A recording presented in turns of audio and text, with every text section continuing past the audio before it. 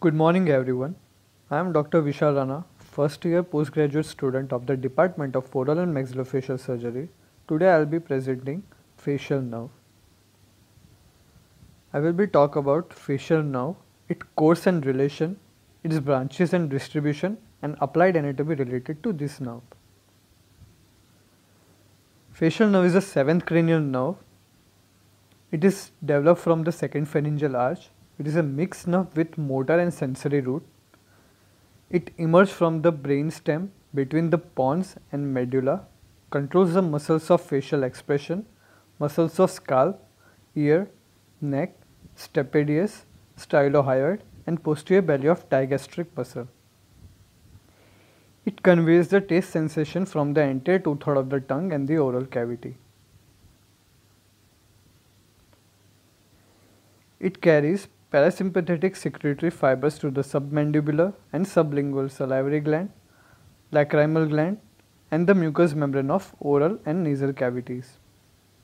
It conveys exteroceptive sensation from the eardrum and external auditory canal, proprioceptive sensation from the muscle it supplies and general visceral sensation from salivary gland and mucosa of the nose and pharynx.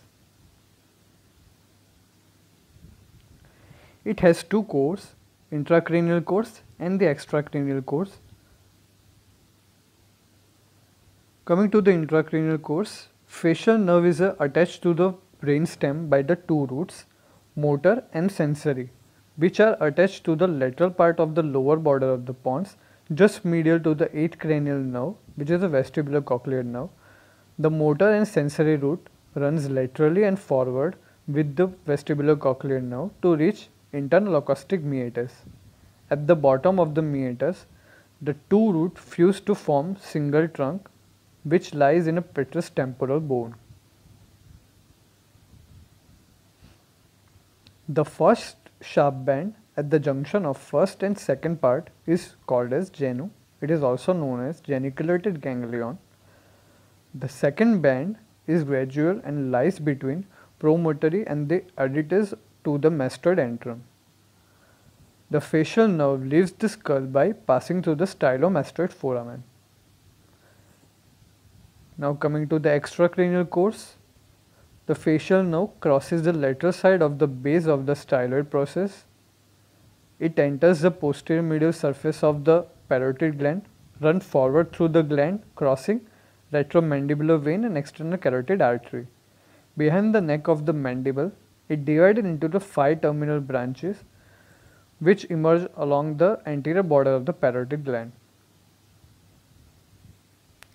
Coming to the branch the branches of the facial nerve can be divided into the three parts. Branches within the facial canal, branches which are originated at the junction of stylomastoid foramen and in the parotid gland. The facial canal contain nerve to the stapedius, greater petrosal nerve and chorda tympani nerve. The stylomastoid foramen originate the posterior auricular nerve, now to the stylohyoid and now to the digastric. In parotid gland, it is divided into the five terminal branch which are temporal, zygomatic, buccal, marginal mandibular and cervical. Now branch from the facial canal. First is a greater petrosal nerve. It originate at the junction of genu. It leaves the facial canal through the hiatus runs forward, downward, inward in furrow on the anterior surface of the pyramid of the temporal bone. It leaves the cranial cavity through the foramen lacerum after joining the deep petrosal nerve. Now to the stapedius supplies the stapedius muscle. Chorda tympani nerve which arise from the facial nerve 6 mm above the stylomastoid foramen run upward to the perforate posterior wall of the tympanic cavity. It carries taste and general visceral afferent as well as preganglionic parasympathetic fibers. Branches which are exit from the stylomastoid foramen The first is a posterior auricular nerve which supplies occipitalis, posterior auricular and transverse and oblique auricular muscle. The digastric branch supplies posterior belly of digastric muscle and stylohyoid branch supplies stylohyoid muscle. Now coming to the terminal branch of the parotid gland. First is a temporal. The temporal branch emerges from the parotid gland at its upper pole slightly in front of the superficial temporal artery.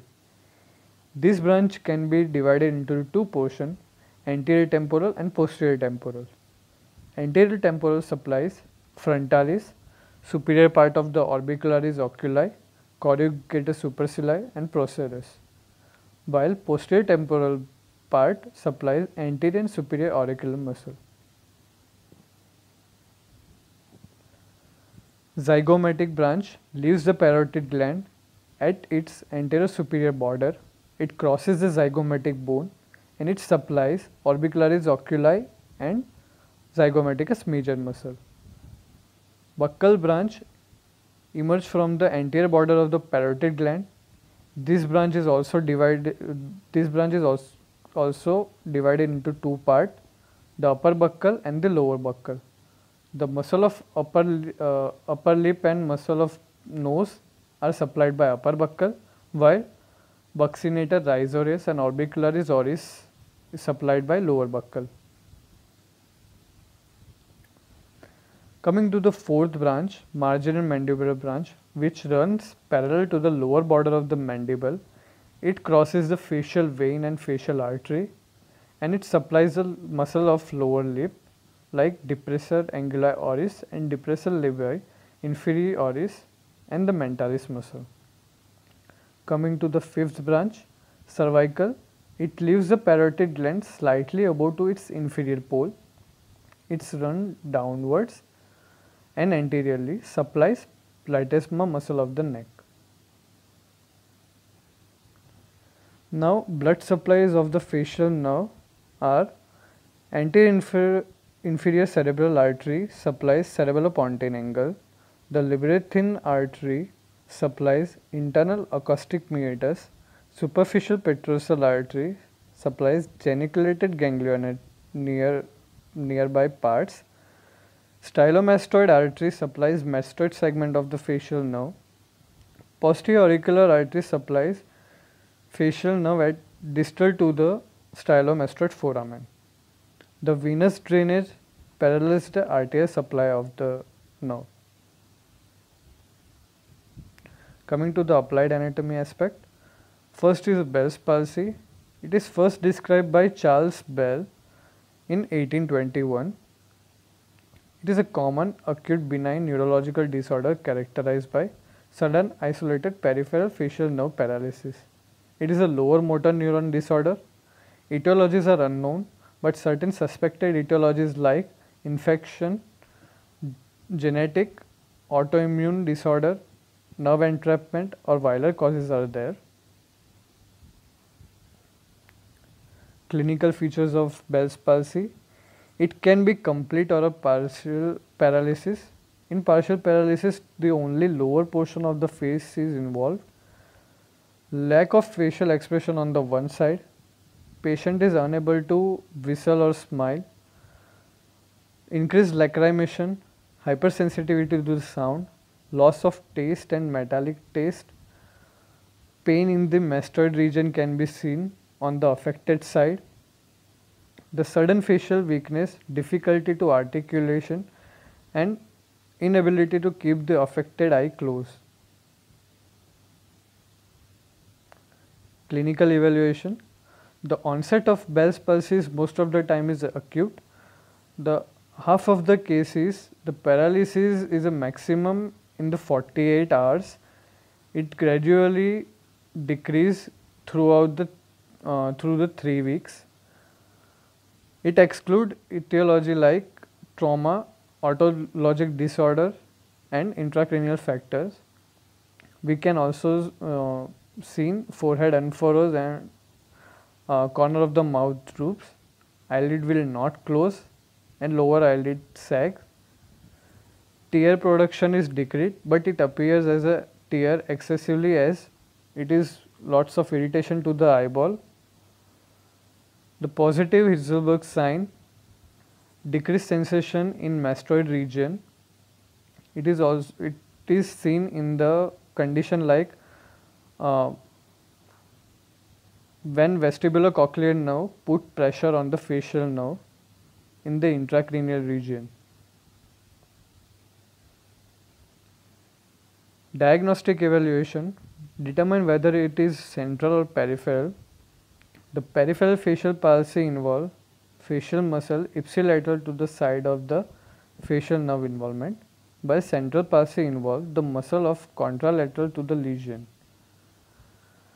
Family history is very important because Bell's palsy account 4 to 14 percent of the genetic uh, causes.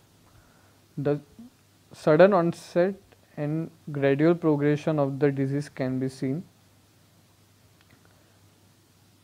The physical examination to rule out Ramsay-Hunt syndrome because in Ramsay-Hunt syndrome we can see uh, vesicular rashes in the ear region. The conventional radiograph like uh, CT scan and MRI are reliable for the diagnostic evaluation of the Bell's palsy. Coming to the treatment plan, symptomatic treatment, uh, we can prescribe patient an eye patch for the protection of the eye because of inability to close the uh, eye on affected area, massage of the weakened muscle, lubricating eye drops, prednisolone 60 to 18 mg per day for the 7 to 10 days. For the viral cause, acyclovir 400 mg 5 times per day for the 10 days or valacyclovir 1, m, 1 gram per day for the 5 to 7 days. Surgical decompression is a, one of the method but it is a very controversial therapy. It may harm the patient sometimes. Now coming to tetanus. Tetanus is a clinical diagnosis characterized by triad of the muscle rigidity, muscle spasm and autonomic instability. The Clostridium tetani spores enter into the bloodstream via uh, abrasion, uh, abrasive skin lesion. It releases uh, neurotoxin called as tetanospasmin. The early symptoms of tetanus include neck stiffness, sore throat, dysphagia, dysphagia means uh, difficulty in swallowing and trismus. The spasm extending to the muscles of the facial expression, it called as risus sardonicus. The truncus spasm cause opisthotonus. Opisthotonus means the muscle spasm of the full body. Coming to the Parkinson disease, Parkinson disease is a chronic progressive neurodegenerative disorder. The four cardinal signs of the Parkinson disease are tremor, cogwheel rigidity, that means patient is unable to move uh, unable to move his or her joint properly, bradykinesia, that means patient feel uh, excessive fatigueness and postural instability, patient is unable to maintain balance of the body. Congenital disease that affect the seventh cranial nerve. First is a Mobius disease or syndrome. It is an extremely rare congenital condition which is characterized by uh, weakness or facial paralysis and the main characteristic feature of this disease is patient is unable to move eyes from side to side. The most of the people with Mobius disease are born with complete or a uh, partial uh, facial paralysis. Limbs and chest wall abnormalities sometimes occur with the syndrome. Melkersson-Rosenthal syndrome. It is a rare neurological disorder characterized by triad of facial palsy, granulomatous cheilitis that means excessive inflammation of the lips and fissured tongue. Ramsay-Hunt syndrome. It is a the characterized by peripheral facial palsy may be unilateral or bilateral. Vesicular rash seen, uh, seen on the ear area. Ear pain, tingling sensation in the mastoid region. Excessive tearing on, uh, on the affected area. Loss of sensation and nystagmus can be seen.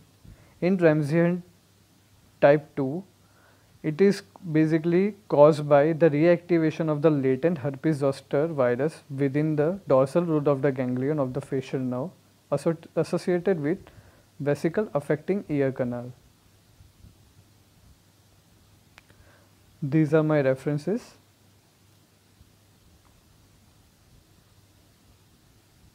Thank you.